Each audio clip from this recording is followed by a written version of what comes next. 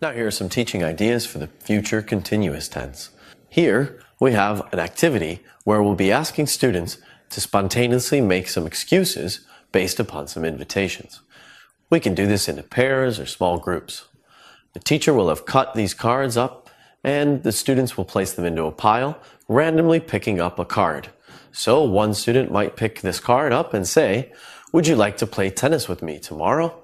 The other student will be challenged to come up with an excuse as quickly as possible, which might be, no, I'm sorry, I'll be working.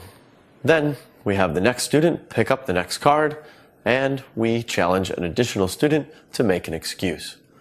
Here we have another teaching idea for the future continuous tense, and this involves two students trying to plan a meeting between themselves sometime in the future.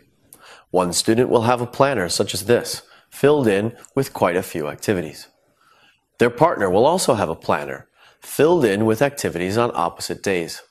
The activity will be rigged so that only one day allows for both of them to meet together. The objective of the activity will be to find that day. They'll need to do so by asking a series of questions. One may begin with, would you be available on the 14th? Here, this student would notice that they have a conference and respond with, I'm sorry, I'll be attending a conference. He may return with another day and by asking these series of questions, eventually they'll arrive at the day they can meet.